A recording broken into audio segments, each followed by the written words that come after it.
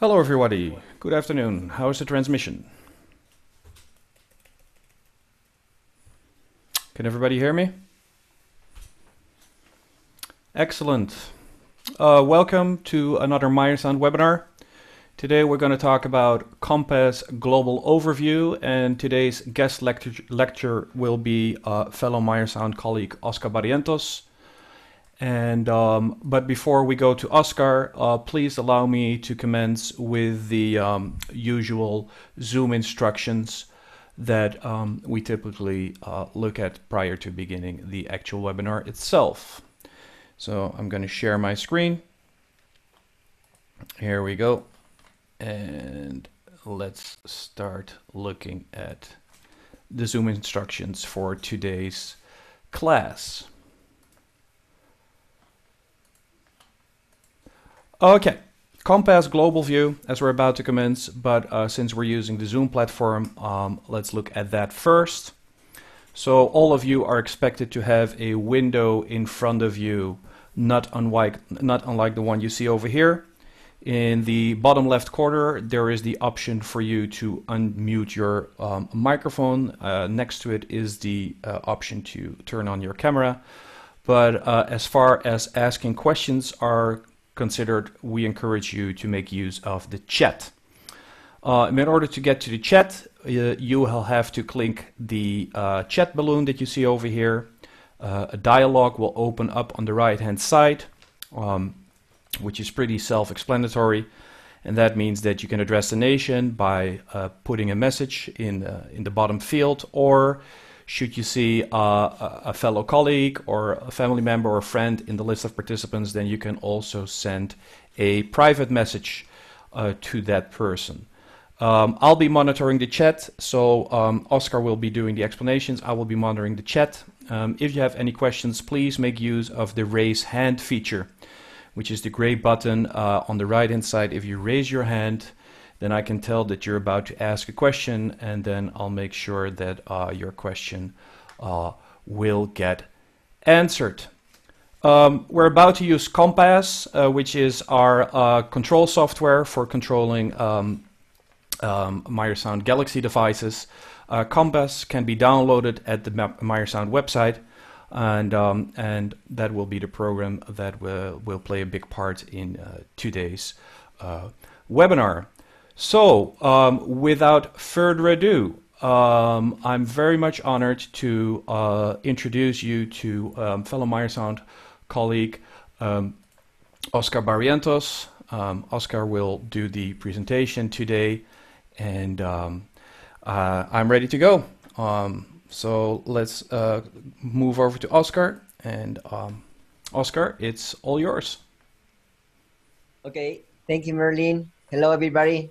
Um, I think uh, this is my first time doing this in English, so it's gonna be awesome. Um, first of all, I want to thank you all for being here, and I want to start saying that I'm a native Spanish speaker, so I'll make my best to explain myself during this um, webinar. Okay, so I'm gonna share my screen. Let me do this. Uh, hopefully you are seeing right now uh, the first slide of my presentation. Can you just tell me, Merlijn, if this is right? Um, yes, sir. I can confirm okay. that I see the first slide of your presentation. Thank you. Thank you. Okay, so let's get started. This is about uh, Compass, a, a global view. And what I'm gonna do during this seminar is to show you uh, uh, um, how can you work with multiple processor? We're gonna use an example uh, for a real life scenario, and we're gonna use a planning sheet for signal distribution, and we're gonna see how can we work in a efficiently way with multiple uh, processors. Here you can see the topics that we're gonna see. The first one is gonna know the real life scenario that we're gonna use as an example. We're gonna see the channel uh, distribution for this uh, GIG. We're gonna see the planning sheet processors, uh, the Galaxy processor as well. We're gonna work with Compass. We're gonna use the linking preference in terms of the select select a linking for some channels. And we're gonna use a global linking preference as well. And we're gonna finish with uh, a work using all these tools. I mean, the global linking, global snapshot, and global project in order to be ready for a show like, like, like this. So this is the venue. It was a special uh, show for an artist in Colombia. Uh, he's from this city, so you can imagine that this was a very important show for him. So this is uh, the big stadium that we use for this concert. And in here you can see a picture that was taken like two hours before the show. In here you can roughly see uh, some big screens on the left and right side of the stage. Of course, we have main left and main right speakers. We also have some lateral line array speakers to cover uh, over this uh, area. And we also have uh, what we call a 90 degrees lateral system to take care of this sound. The same thing for the other side, just in case we, we, we have people in there. And we actually did it. We, we have some people in those songs. So you can also see maybe roughly here three delay towers that we were using to get these uh, forest seats. In again, this was about two hours before the show starts, so people was kind of being placed for the show. What was the system? The system was this. We got 60 Leo, 60 Leo M, 70 1100 that are the subwoofers, 52 LYON M, and 12 LYON W. LYON W is it, has a wider uh, horizontal coverage than the M model.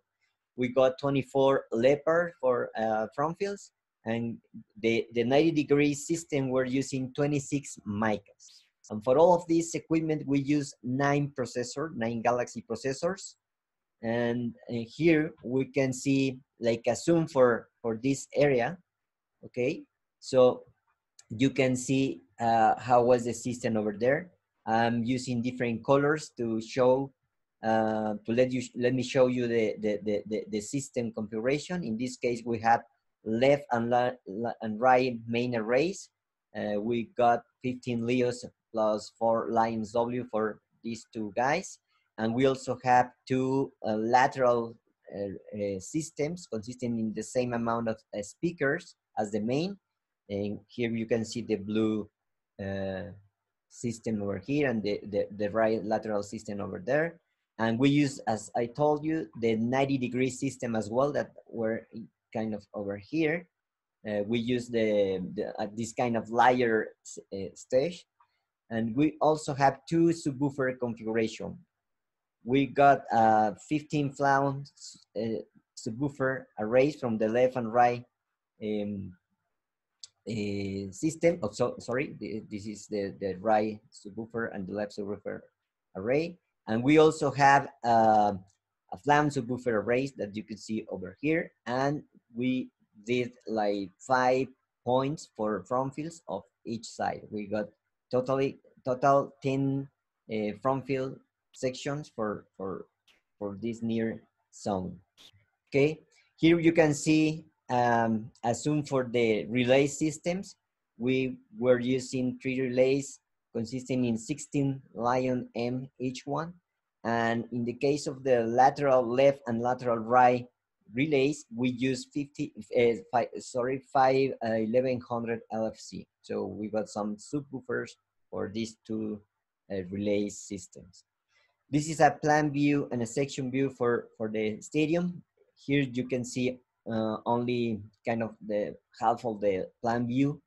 And in the section view, you could see the main and the subwoofers um, for, for this venue. And you also could see a little small uh, red dot that is, that those are two, two leopards that we use as a front field. And we, we could see roughly the, the, the subwoofer uh, configuration on the ground. And here you can see the relay that was in one of the sides. Uh, and also you could see, sorry, the subwoofer array that we did for, for that area. So in here, you can roughly see the, the, the some predictions. This is a, a, prediction about the subwoofers, the, the flange subwoofer array configuration. This is about the ground subwoofer array. And here you could see the subwoofer that uh, were in the um, relay area. And in here you could see a prediction with all the arrays uh, playing together.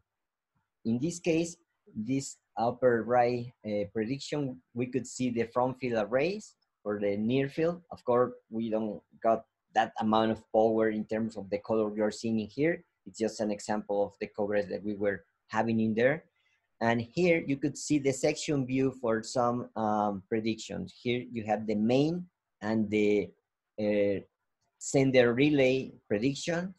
Here again, you have the, the, the, the, the uh, no, this is the lateral uh, array. And here you could see the uh, lateral relay as well. And the 90 degree uh, array is, is this one. And of course, you could see in here the front field coverage that uh, we, we just have two boxes in there. And this is about the subwoofer array configuration that is in the Flown configuration. And here you can see the, the stack for, for the uh, ground subwoofer uh, configuration.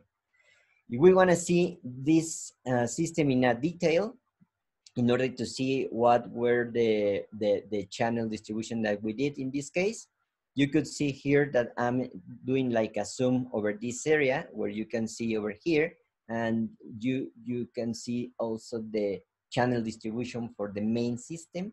In this case, we were using 16 channels. Um, we use channel number one to, to feed uh, the Leo 1 and Leo 2 from top to bottom. And then we go uh, from Leo uh, 3 just using one output channel. And we do something like that in the whole system all the way to the Leo 15 actually. And then we use two more channels for the uh, lower section of the array. So we got uh, one channel sending signal to these two speakers and another channel to these uh, two other speakers. So um, we use uh, in total, as I said, 16 channels for the main left and right uh, array system. In this case, for the Flown subwoofer array configuration, as you can see, we were using a gradient style of configuration. Uh, we use 15 1100 in there, and we use four channels to send signal to the speakers. As you could see, we have uh, the forward facing and rear facing boxes using these uh, red arrows. You can see that we were using channel uh, one for speaker one, three, four, six, seven, and nine.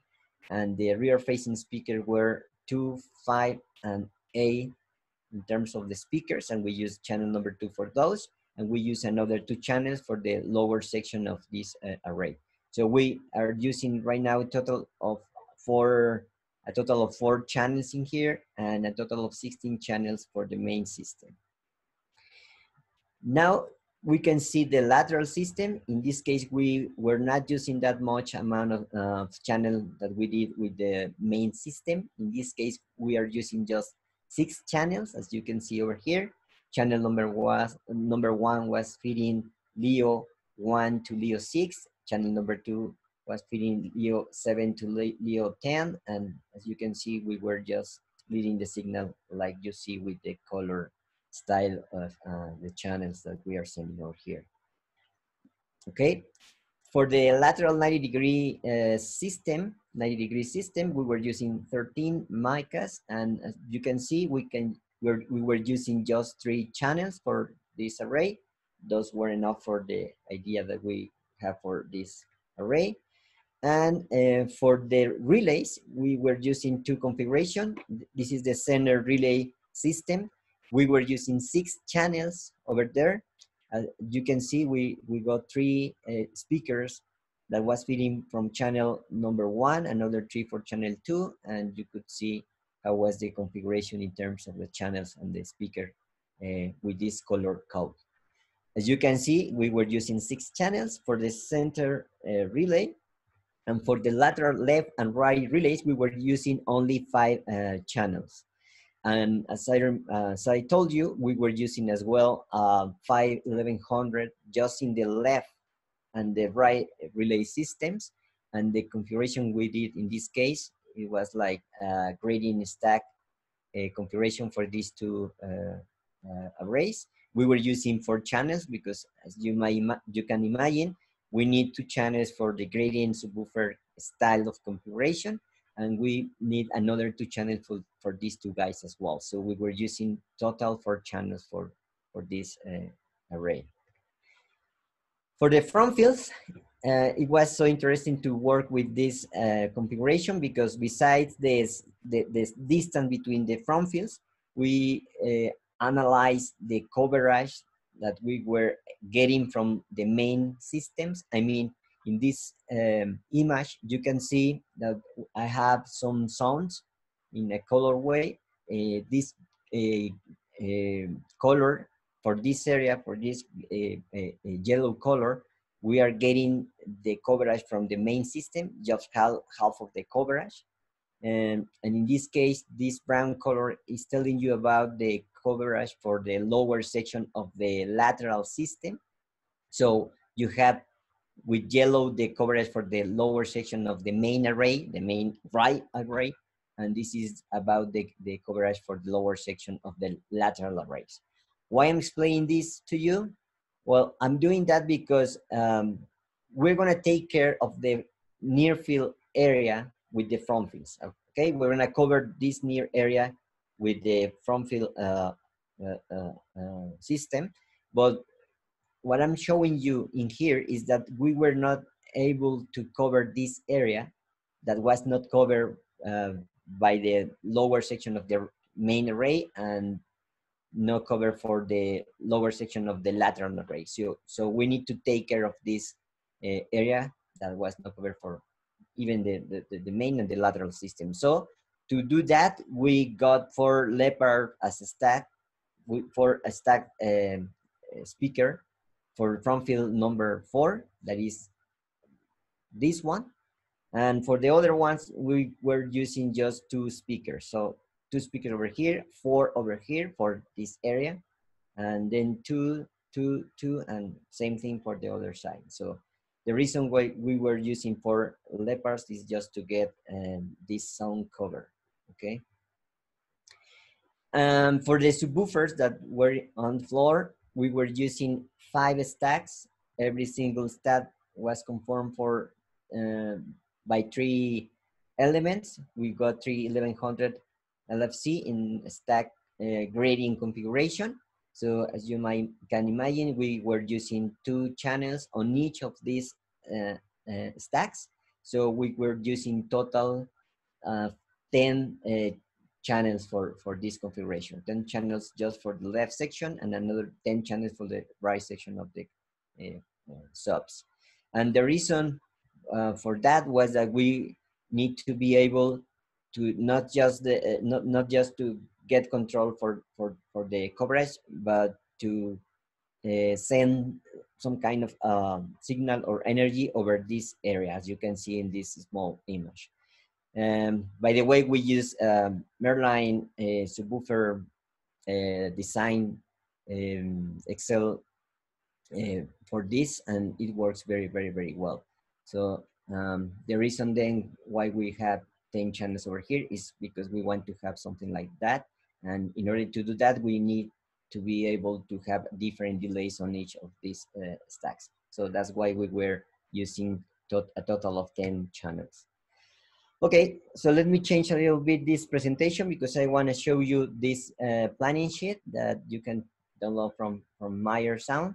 In here you could see these rectangles. Every single rectangle means one processor. So we have one, two, three, four, five, six, seven, eight, nine processor. And then I want to zoom in. Let me just do this for uh, this planning sheet processor. In here, you could see that we have several columns. In this column, we are dealing with the names of the inputs that we're gonna use. Uh, here are the inputs. And in this column, we are dealing with the uh, type of signal that we are gonna work with uh, this uh, processor, okay? So I can explain a little bit more using this other example. So again, we have the names in the, input, in the inputs and the kind of input that we wanna work with, the matrix assigns, I mean, the way that we are gonna connect input to the outputs, And here you can see the outputs in these columns and the name for those outputs. So as you can see, we're seeing the, the stage right number one Galaxy processor. And in this case, we're gonna feed this processor by AVB, by an AVB signal. And we're gonna use another uh, signal as a backup. Remember that this was a very important show. And in this case, we're gonna use an analog line for, for this. So you could see that I am assigning uh, all these um, these two inputs to, to the 16 outputs in order to get signal in all of them. So I'm gonna go back to my presentation. And here you can see the planning sheet for the main left, and of course it's gonna be the same for the main right processor. And I just explained what is happening here. So as you could see and you could remember, uh, we were using 16 channels for the main left and right uh, uh, system. Here you could see that we have the planning sheet for the lateral fields. Again, it is happening the same in the, in the right um, lateral fields processor. And in this case, we were getting four channels as a main channels coming from the from the from another galaxy. In this case, we were using left and right signals that is going to the left section of the of the system. Um, in here you could see a, a, small image and I would like to use this as a reference because in this case it, we are dealing with the left uh, section of the system. And in here you could see the 90 degrees um, array. Then you see the, the lateral array system a small front fields over here the ground subwoofer configuration the main left the subwoofer on the, this side as well and I, am showing you this because as you could see, we are using this uh, processor to feed the lateral system that is in here, the 90 degree system that are these three, three channels for mica for the 90 degree system. And we are using um, five channels for the front fields. And the reason I'm explaining this is because maybe you are asking yourself why we were getting left and right signal for this side of the uh, system. Well, we are doing that because we kind of need to be prepared uh, uh, for for for whatever the sound technician or the, the the system tech or the front of house guys wants to do with these signals. I mean, imagine that right now, as I said, we are dealing with the left section of the system and we want to have over the 90 degree system just the left channel of the of the signal and then for the lateral system we want to have the right channel because we are thinking that it's a good idea to have left and right in these two lateral systems so in order to do that we need to have in this processor left and right uh, signals. And, and, that was why we did that because we didn't know before the show what they are want what they are want to uh, want to do with these two signals. Okay same same thing with the front fields because we don't really know what they want to do with those. We need to be ready in case they need to have just left or or a combination with left and right signals over the the, the front okay and of course we got the backup signals for all these four channels just in case and for the subwoofers we got just one signal and the backup for, for, for it. And we were feeding the output as you could see over here. Remember that for the flam subwoofer uh, uh, configuration, we were using four channels. And for the floor or ground subwoofer array, we were using 10 channels as you could see over here, okay? And again, this is about the sub left and same thing with the, for the sub right uh, processing. In this case, we are having this processor that is gonna feed the, the whole relay system. You could see that we have the relay center, relay left, and relay right over here. Remember that we were using six channels for the relay that is in the center and just five channels for the relay left and another five channels for the relay right. And I'm showing you this here. And of course, we get we got uh, relay left and relay right signals just in case we want to use whatever ideas we can have. We can use these two channels to feed maybe as we are showing here for the center uh, relay, we are feeding uh, left and right signal to these uh, speakers by uh, getting the connection in the matrix uh, using minus 6 dB on the left and minus 6 dB on the right in order to get kind of the same signal as we are sending to one of the relays that are on, or on the left or, or, or on the right. Okay, for the subs on the relay sounds, we were using, remember, four channels. So we have this uh, eight channel total for that, that uh, those array in the subwoofer uh, area over the relay zone. And this is about the front of house galaxy.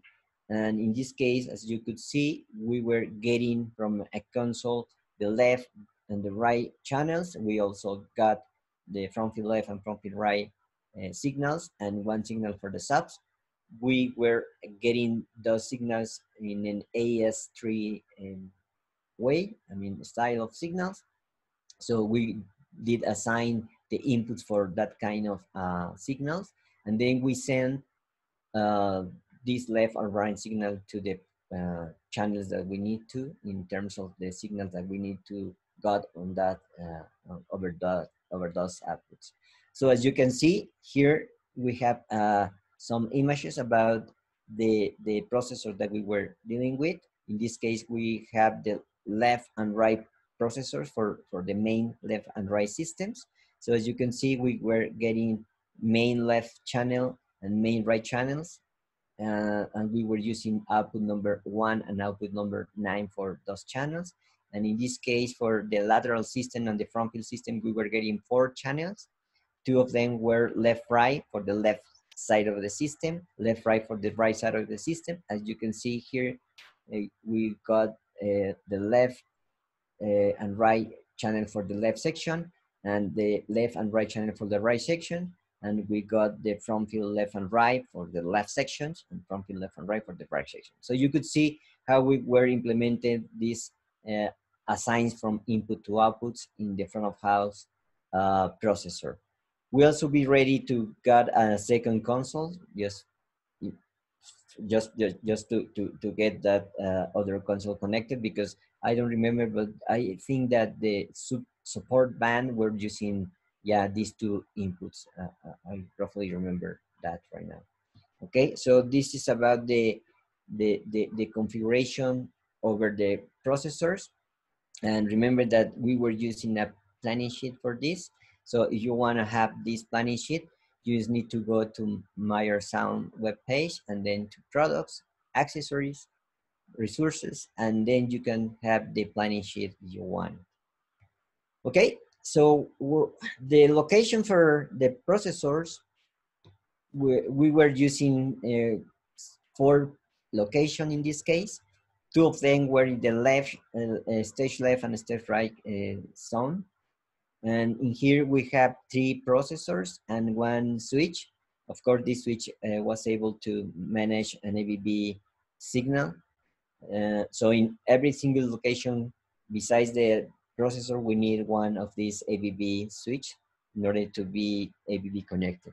Okay, another two location were the front of house that has only one uh, Galaxy and one switch, and the other location was the center relay area where we got uh, two processors and one switch for uh, in order to be all with all of them connected. We use uh, fiber optics and we run analog lines as a backup as you might, might remember. Okay, these are the speakers. I don't want to waste your time by going on every single model that we just used. I just want to let you know that if you want to have this condensed information that is about the, the, the, the speakers that we use, I can send it, send it to you by email if you want. Um, and okay, so far we have done these three topics. We know the real life scenario, the output processing channel distribution, and the, the planning sheet for these processors.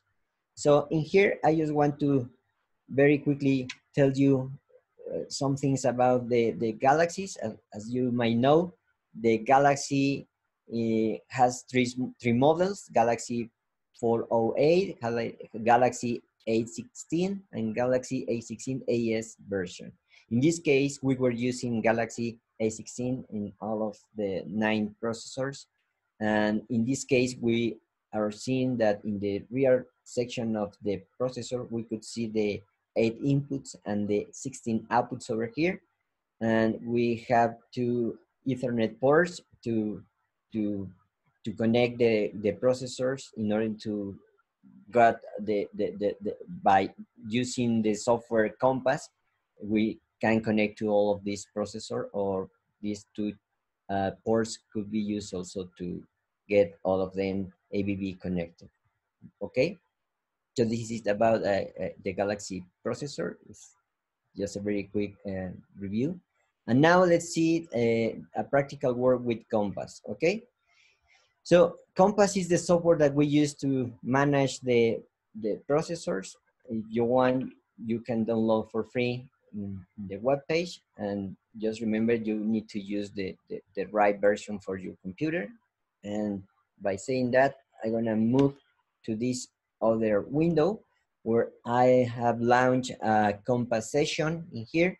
And as you can see, we are seeing a lot of tabs over here. So if I go to Compass tab, you can see that over this area, you, you, you have more tabs. So we have the Compass Preference tab, the Cal tab, Galaxy tab, RMS servers, uh, server preference tab. So we're gonna work in this zone with the Galaxy Preference tab, and we are gonna be playing with these two tabs that are select isolated linking and global linking tab, okay? And if I go to processor tab, I'm gonna see the inventory over here. And as you remember, we were using nine processor.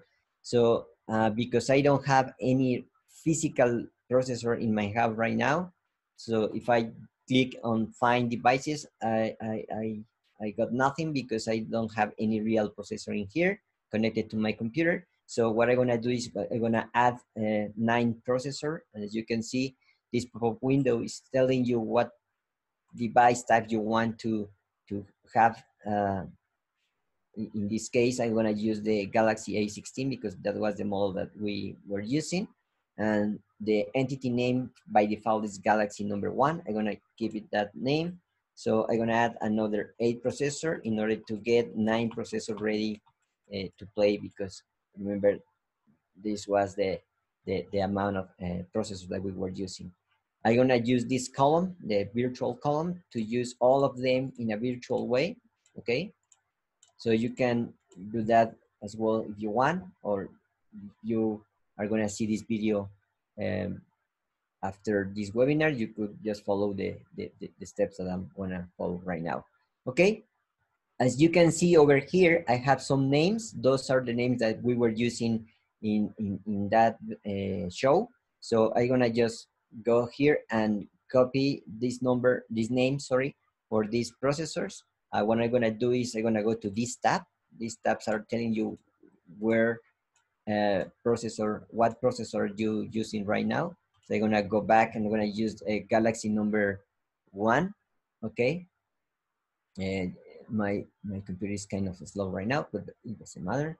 So I'm I'm right now in the Galaxy tab number one. Then I go to settings, and then I go to network that is in here, and I can change the entity name for this uh, processor, and I'm gonna write down FOH because this is the first processor I'm seeing over here, and then I'm gonna move to the other Galaxy, and this Galaxy is gonna have this name main left Okay, I'm gonna copy that and then I go here and I'm gonna paste that name and I'm gonna change main R and then I can also go here and then copy this name and I'm gonna paste over here. I'm gonna do the same for this other processor and I'm gonna change the, the letter for this one and now we have subs subs left. Okay, same thing. I'm gonna copy this name. I'm gonna paste it over here. I'm gonna change the last letter, and then I need to have this name. I'm gonna copy it. Okay, let me do it again. Copy, and then I'm gonna paste over here. And same thing with this name. Okay, and now I have all of names, uh, all the names ready, and I need to do something else. I'm gonna copy this name that is stadium, and I'm gonna use the group name in, uh, in every single processor. I'm gonna use stadium in the group name, and I need to do that because if I want to get all of them AVB connected, we need to have the same name group, okay? That's why I'm doing this, okay?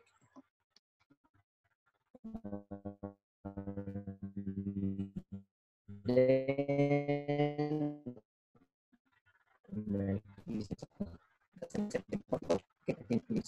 ready, the last one.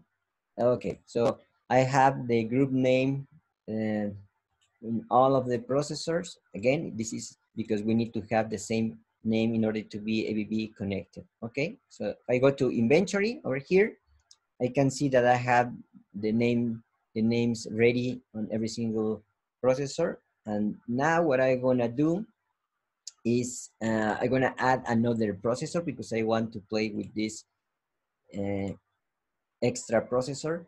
This is Galaxy number one. I'm gonna go there and I'm gonna play with this processor a little bit. So if you if you see, we are right now in the overview tab, and here we can have uh, these uh, outputs in a mute style or on mute style. So what I'm gonna do is I'm gonna change a little bit this uh, sections of the gain.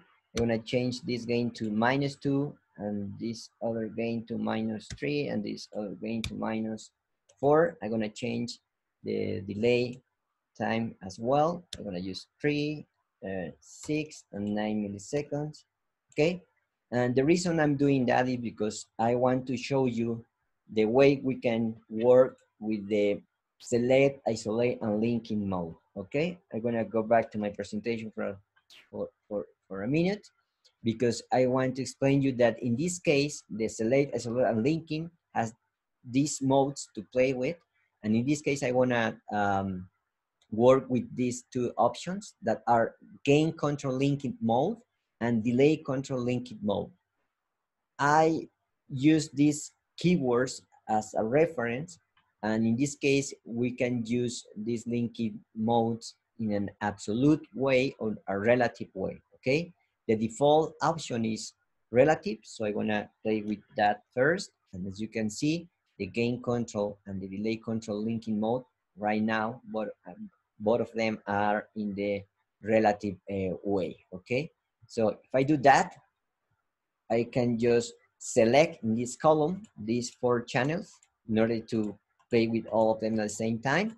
And I'm gonna change a little bit the gain. And as you can see, the gain is changing in a relative way, okay?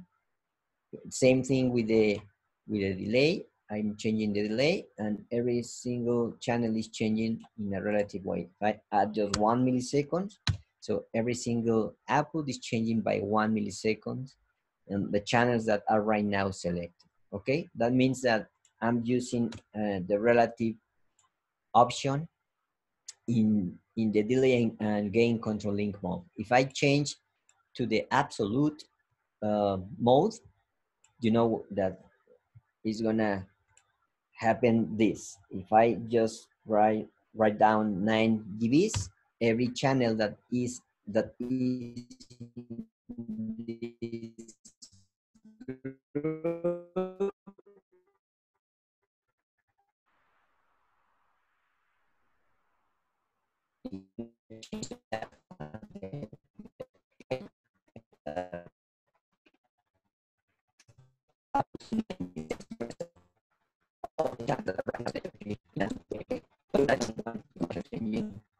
in an absolute way, I, try to play with the relative uh, mode in this case.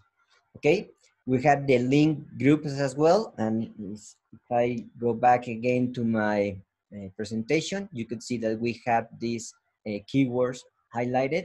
Uh, the link groups can work always selected in groups or linked independently and in addition, okay? In this case, the keyword is always selected in groups. Let's see what, what we're just saying with this um, option, okay? Remember that I'm using the always selected in groups option. And what I'm gonna do is I'm gonna use this link uh, column. In this case, I can just go there and uh, enable the group number one, and I'm gonna use this channel for group number one. I'm gonna do the same with this channel two. And if I want to, if I wanna work this very quickly, I can go to settings, then I can use link group uh, tab, and I am gonna add two more channels, and, and I'm gonna enable this group number two, and I'm gonna select another four channels, okay? So now we have these two link groups, link group number one, link group number two. And if I just click on one mute, uh, I'm seeing that it is changing only the, the channel that I am playing with the mute, but not the other ones. So what we need to do is to select in the select column, one of these group, and now those channels are linking together, okay? Same thing with the other group. And if I select both groups, now we have a bigger group to play with, okay? So in order to play in this kind of link mode, as I mentioned, we need to always select the groups that we are playing with.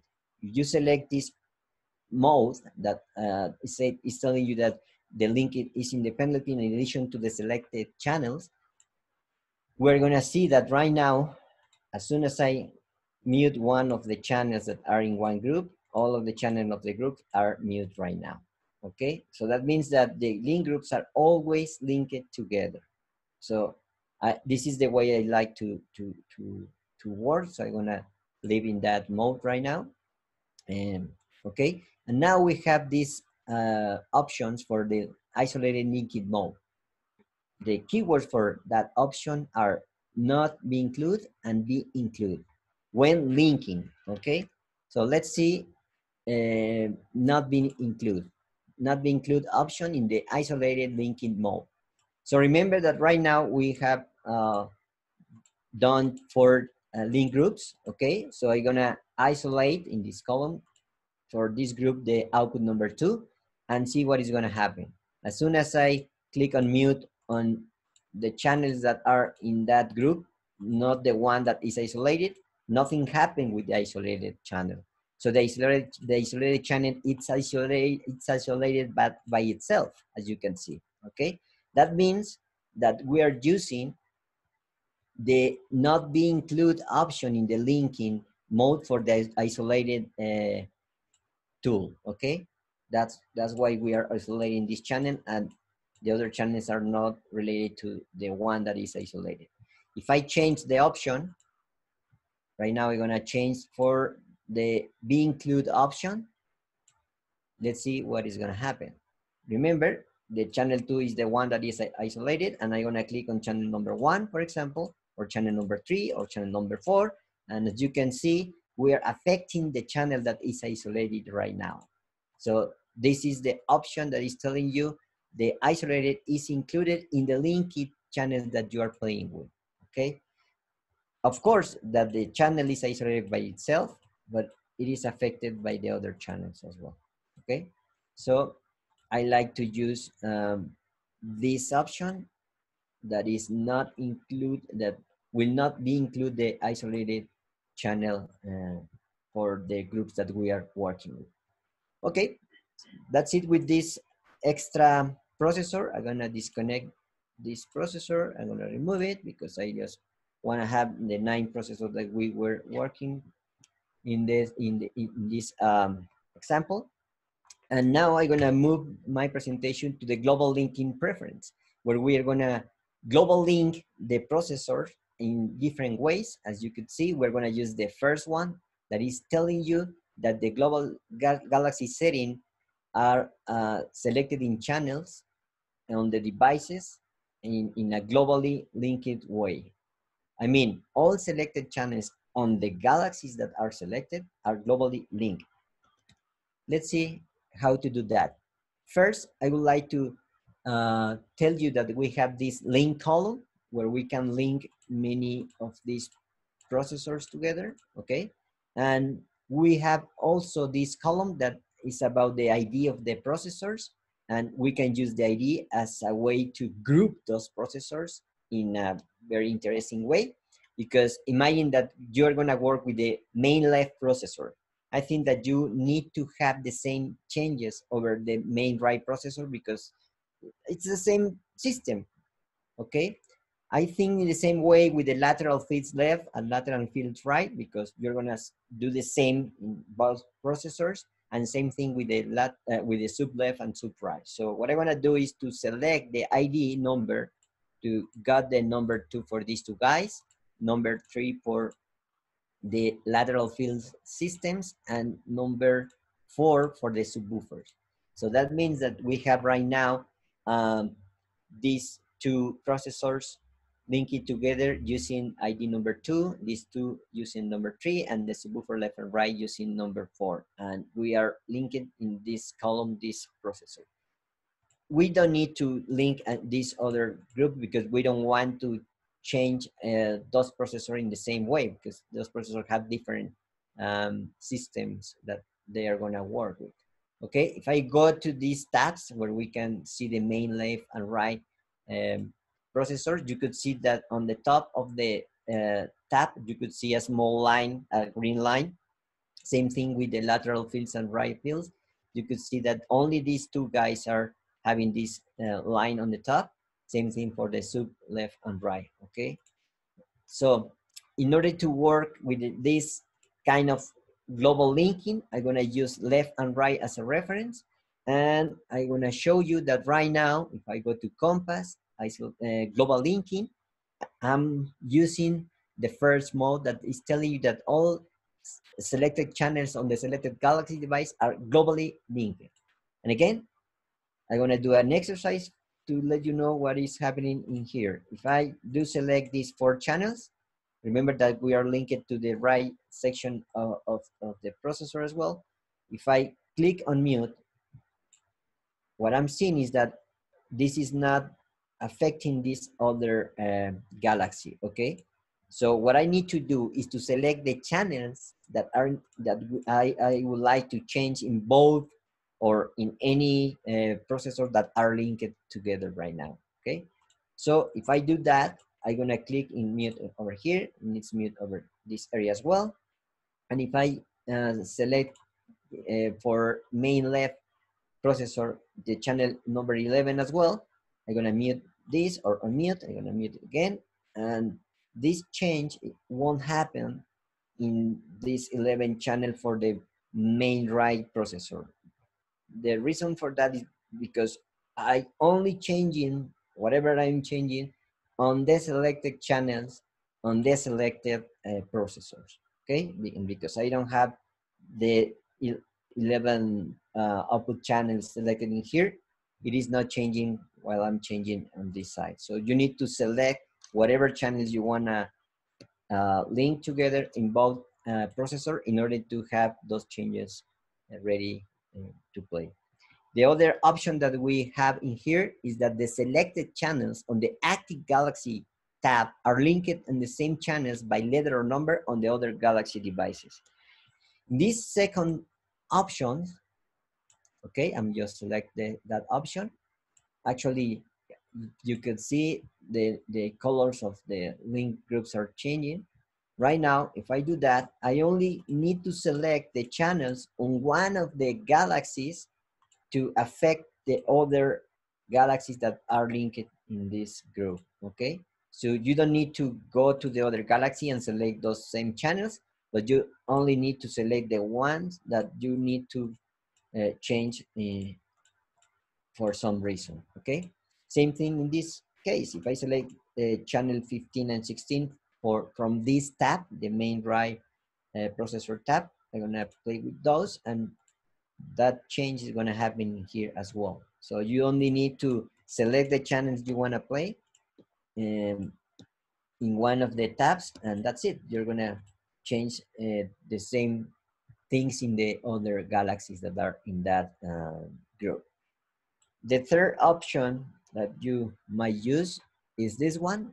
And this has the keywords telling you that all channels are always linked in this to the same channels by letter or number on the other galaxies.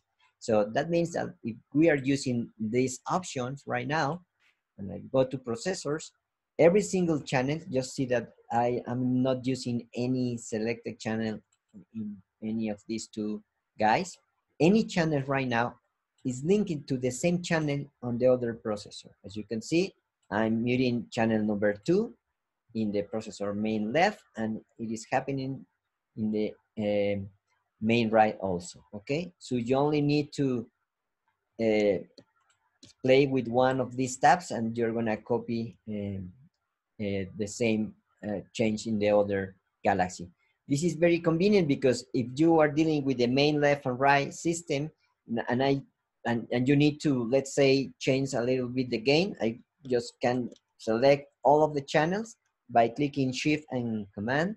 I'm using this uh, shortcut to select all of them. And I'm gonna decrease by one dB the outputs. So I did in the left uh, processor and it is happening uh, in the right processor as well as you, as you could see. So this is very convenient because it's like a mirror option between these two galaxies and it is very convenient when you are dealing with the same amount of speaker from left to right. So this is the way I like to, to play and we have also some uh, two options in this case. So we have the isolated modes in this case that you, you, you could use enable or disable for this option. Let's play first with the default that is disabled. So that means that the isolated mode is gonna be disabled in the global linking channels, okay? So let's play with that. Uh, so we are in the global linking tab. Now we are using the disable global linking or of isolated channel. That means that if I do select this uh, option that is isolating all of the channels, and you could see that the, the, the right processor is not getting that isolation.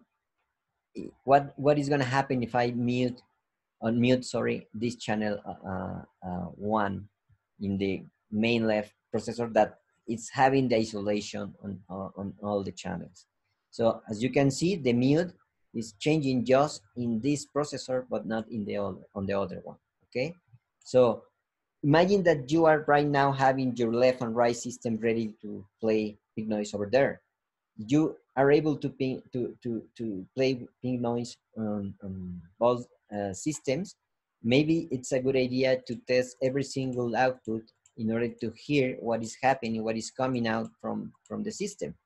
So if you isolate this processor, you won't affect the other one. So that means that you're only hearing the left, uh, uh, the left main array system in order to see if, if it is working in a good way, okay? Okay, so you can do the same thing for the other side. Just go to the other uh, uh, galaxy. You could isolate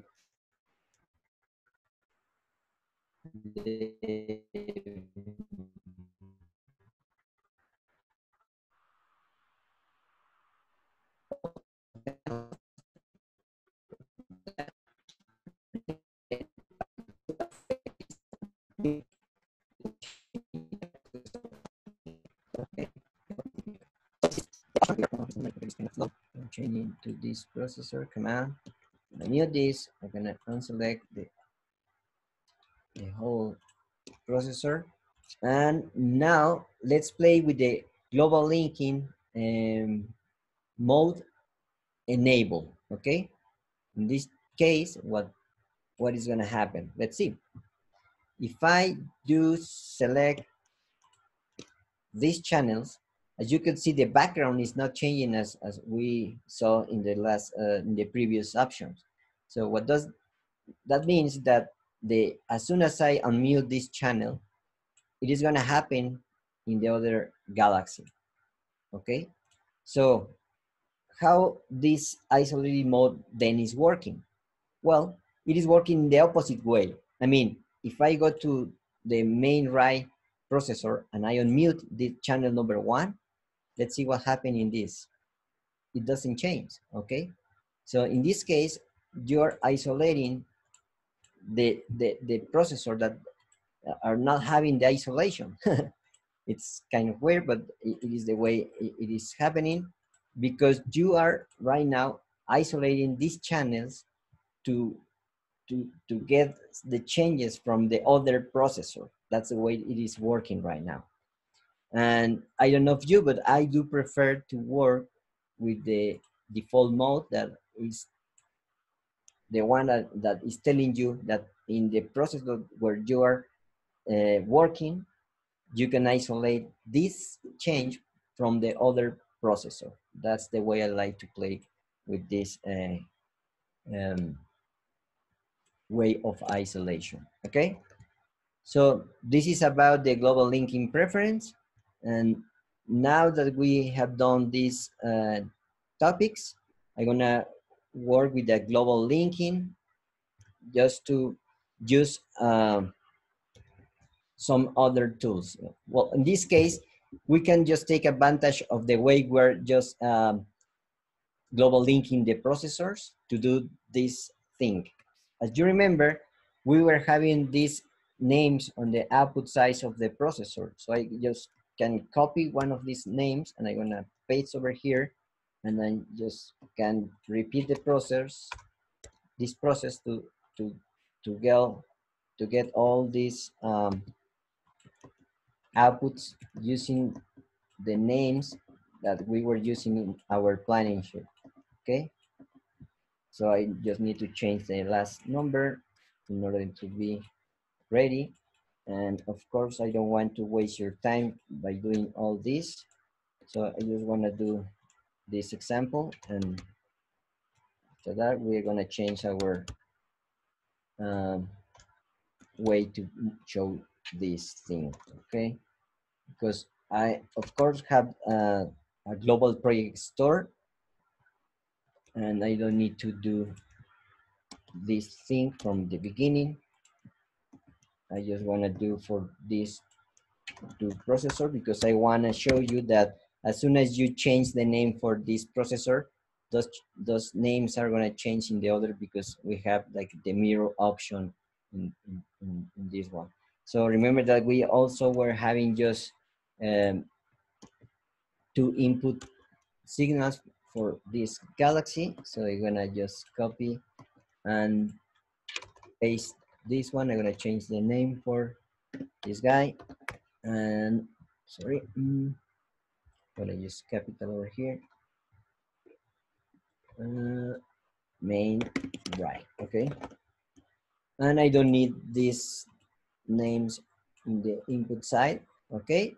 And as soon as you have the output names and the input names, you could also go to this um, section that is the zoom-in matrix where you are going to connect the inputs to the outputs. Uh, if I click on that, I go to zoom-in matrix tab. And if I do uh, shift and command or shift in or um, shift control, if you have a Windows PC, you can just click on these uh, channels in order to get all of them connected. So right now, if I go to the overview tab, you could see that I got the main right and the backup signals connected to uh, all the 16 outputs right now, okay? So you could do that and you can also do the same thing with the other processor, but I don't want to waste your, your time by doing that. So what I'm gonna do right now is to go to uh, inventory, inventory and in the lower section of this window, you could see that we have global project and global snapshot. If you're not seeing those, it's because you are not uh, having this option uh, uh, ready to play. So you need to select the show global project features in order to see these options. And if I go to the open project, you could see that I have this global project file that was stored for that concert. So you're gonna open it.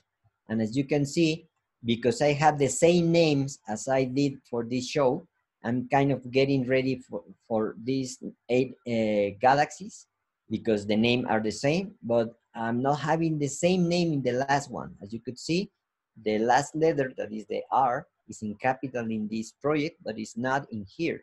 So what I'm gonna do is to cancel this for a minute and go to that galaxy and then go to settings, the network, and in here I can change the last letter to a capital one.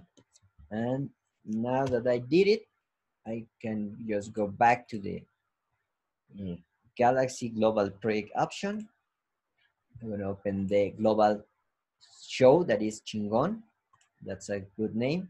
And now I'm gonna upload, uh, apply the settings that was stored for those for those um, processors, and I'm gonna upload the project. Okay, this pop-up window is telling you that you are able to exclude the following setting if you want. And the only option that I always using is the input and output mutes. That means that if you are right now with all your processors in a real life scenario and all of them are mute, I don't remember if my uh, global snapshot were muted, were sto uh, was stored with uh, mutes on or not.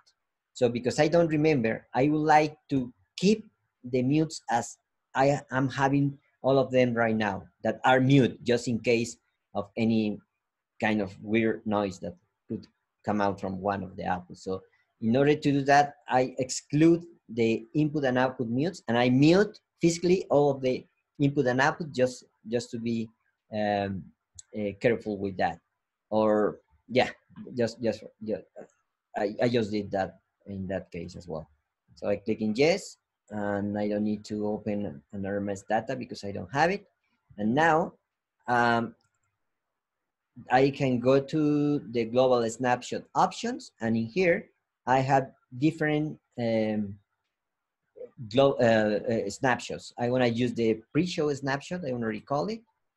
And the reason I'm doing that is because uh, I did my work, I did my homework. And in this case, as you can see, I have the names in the inputs, the names in the outputs for every, every single processor that we were using for this show.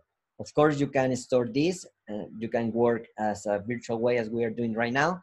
And after uh, you have all your planning sheet planning sheet ready you can just store this in your computer and when you are in front of the real processor you can upload all of these uh, presets and you're going to be ready okay so in this case uh, what i'm seeing is that in the left and right uh, processor we have done the the zooming matrix but we don't have that section done in the rest of the processor. So what I'm gonna do right now is just to right click over here and I'm gonna load the lateral, lateral uh, left uh, fields and I have done this right now and now you have your matrix done. So if you wanna save this, you just need to right click over there and then save and you name that uh, file and then you're gonna be ready to after that just uh, do what I'm doing right now. I'm gonna uh, load the uh, relay center center left right. So I did it. Same thing with the subwoofers. It eh, is done. This is good. This is good. This is good. Okay. The main left and right was done. So the front of house I need to change that one.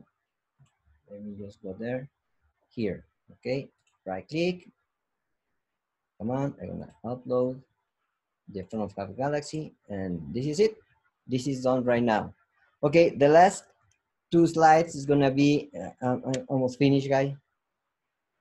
Uh, about the starting point. Um, actually, there was a webinar that Mr. Merlijn did about the product uh, integration. If you want to see more about this, it's a good idea to see that uh, webinar. But in this case, I'm to talk about the starting point. That means that if you are having 12 speakers, as we are right now having in here, you can just use one speaker to see what is to happen uh, with just one speaker in terms of the amplitude and phase response. And as you could see, by using just one leopard speaker, you are getting this amplitude response that has less energy in the lower section of the frequency than in the highest uh, section. And the reason for that is that uh, when you are playing with all of these speakers, you're gonna get more energy, more level. You're gonna add more level in the amplitude response over the lower section than in the higher. They, this is because of the um, kind of uh, directivity that we are having in just one single box that, has, that is omnidirect, omnidirectional in the lower section and very, very narrow in the highest portion of the spectrum. So that's why we're getting more um, energy over here and not that much over this area. So in order to get a very good starting point amplitude response, we need to have uh, every single speaker having this kind of amplitude response, less energy in the lower section and more energy in the upper section. And as you could see over here, we have the models that we were using for this show. And I, I do, oh, sorry. I do something special because I match the amplitude response and about one kilohertz for all of these models in order to have kind of this same uh, amplitude in all of them. As you can see, this, the pink uh, trace is telling you what is happening in the Leopard box that as I showed you, it has less energy over the lower section than in the high uh, section of the frequency. So we need to apply the starting point to get all of these boxes in a kind of the same amplitude response as the Leopard uh, box of the Leopard speaker. Okay, so that's about the starting point. And we have here another thing that is the, the PC. The PC is telling you where this speaker is having a 180 degrees of offset in terms of the uh, phase response, okay? What I'm saying is that you if you see the response for the mica that is in here, in this uh, kind of blue color, you are seeing that actually all of the, the speakers are kind of having the same phase response over here. As soon as you go down in frequency, you are getting a small change over here. And if you go to 350 hertz in case of the mica, you are getting 180 degrees offset in the phase response. So this number is gonna be the PC for that speaker. If you could see the Leo speaker is having a PC 100. So if you go, uh, uh, you, if you follow the phase response for the Leo speakers, you're gonna see that you're reaching the 180 degrees uh, in 100 hertz. So that's why we are having a Leo PC 100. This is the native or, or the natural, let's say, uh, phase response for that speaker. And if you are thinking about LYON and Leopard, we're seeing that the phase is, is changing to 180 in about 55 hertz.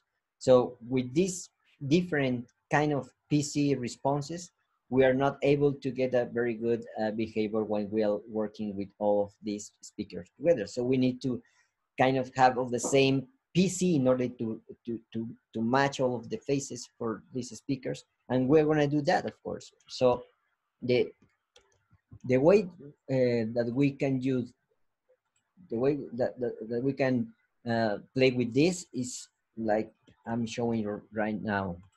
If I select all of the outputs, remember that we are having the left and right system. I'm gonna unselect just these two channels because those are about the LYON W, and I'm gonna, I'm gonna go to the product integration column. And if I click on there, uh, I'm gonna choose the Leo M speakers. I'm gonna select the PC 125, and I'm doing that because the mica is is is having a PC 100 uh, 125 as the, the lowest um, PC in, in this example. Okay, so I'm gonna use the starting point that is telling you that you're gonna decrease a little bit the lower section and increase a little bit the higher section. And I'm gonna use the Leo M narrow, the standard one.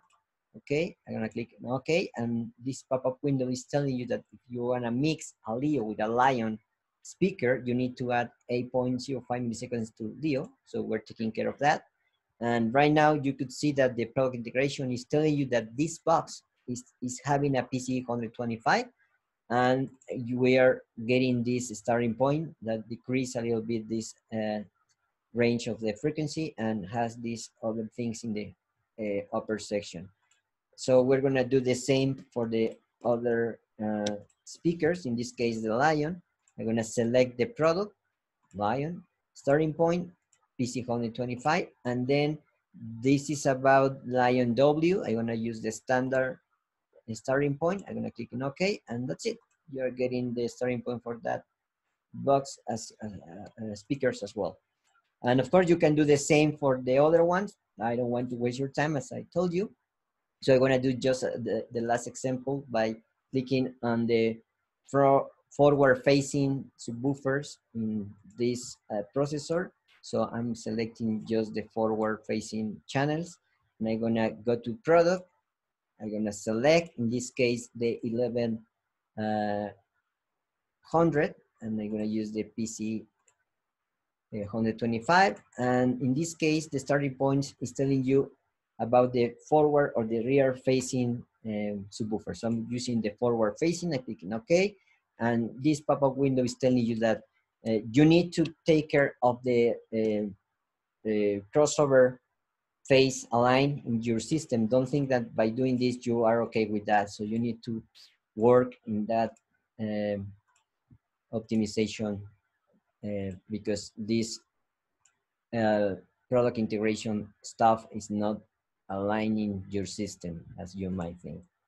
Okay, so now in the case of, uh, in, in, for, for the rear facing subwoofers, I'm gonna use the rear facing starting point and I click OK. The pop-up window is telling me the same thing. You need to work with your phase align. and that's it. We are right now having the starting point for this gradient array configuration by uh, having the polarity reverse and this 5.2 milliseconds. Okay, so we can do the same for the other uh, processor, but as I told you, I don't want to waste your time, so I did it. And this other uh, snapshot, the global, this global snapshot is gonna show you that this is done after uh, some minutes of work. We have the product integration in, in every single um, processor. So what we did right now is to just play with the global snapshot and the and the global project. And by doing that, if I right now uh, create a new one, let's say my last example, this is the active uh, snapshot right now that I just create. If I close this, if I go to every single um, processor,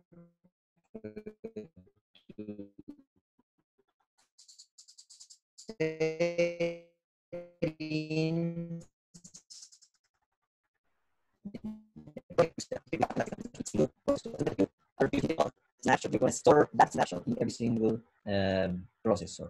And by using the global project, if you save this global project, you're gonna retrieve the, the, the, the, projects that you are working with and you're gonna save as a global project in your computer.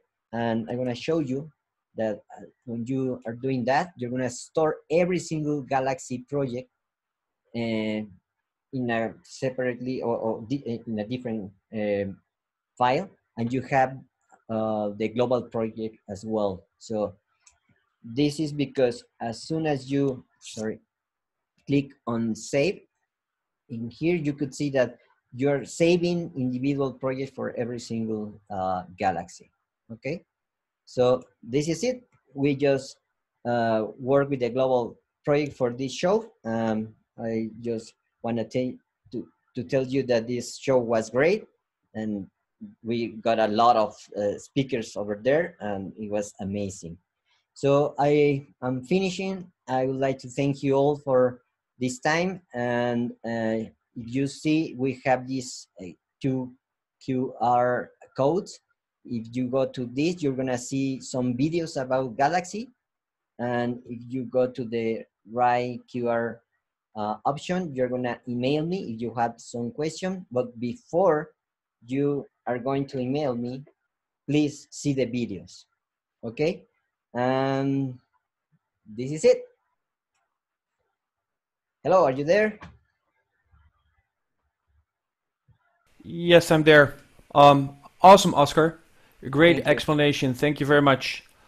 Um, so I think we have uh, maybe two, three, four minutes left for any questions.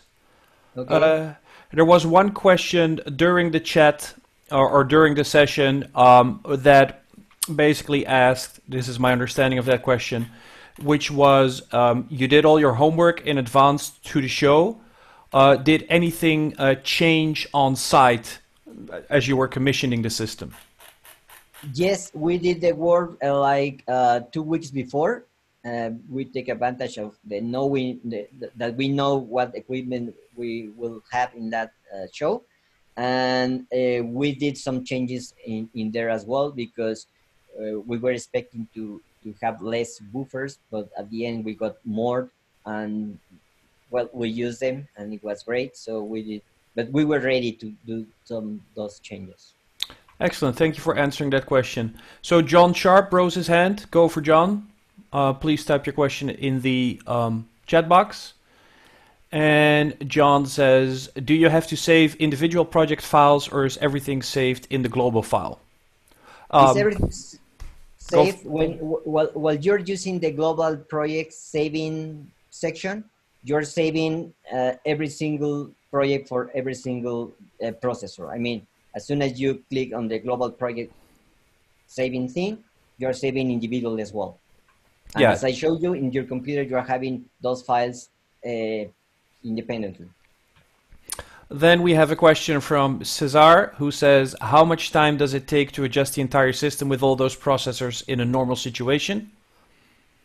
You mean the, the, the, the, the, the optimization work for that? Or so, just for the processors? At Cesar, are you talking about the homework, the preparation, or are you talking about the calibration of the system during uh... the, optimization? Well, um, um, as far as I remember, we we did it in in, in different time frames because we were not able to have we were not able to have the whole system uh, at one time, but we were using like two. The total amount of time I think it, was like let's say six hours or something like that because it was a, a big stadium as you remember. Okay and then we have uh, sam zuckerman who is raising his hand. Go for sam. Uh, by the way uh, in another cases another uh, shows we are doing the optimization in just like an hour because you only have that hour. Yeah of course, uh, a tuning takes as long as, as until somebody says stop. Exactly. So Sam Zuckerman asks, is it possible to have a, a, global project for a system that is uh, that consists of uh, Galaxy uh, as well as Callisto devices? Not in that case. You need to work with them uh, uh, separately. I mean, you need to do the global thing for the galaxies and the global thing for the Galaxy and Callisto. And also different, yeah, different Compass versions. That's right. Exactly. Okay. Um, why don't you import your project from MAPP XT? Well, we're not prepared to answer that question. Exactly. That's true. Okay. Um, any other questions at this point?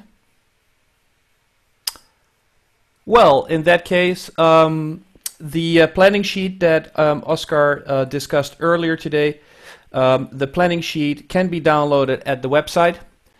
If you go to uh, products on the Meyer Sound website, um, you can go to the uh, Galaxy devices.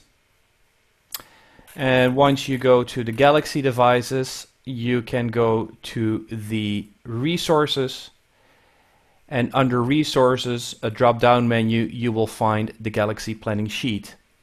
Um, so you can download that there. And as for the um, recording of today's webinar, that recording, as always, once finished, can be found on the YouTube Thinking Sound uh, channel by Meyer Sound.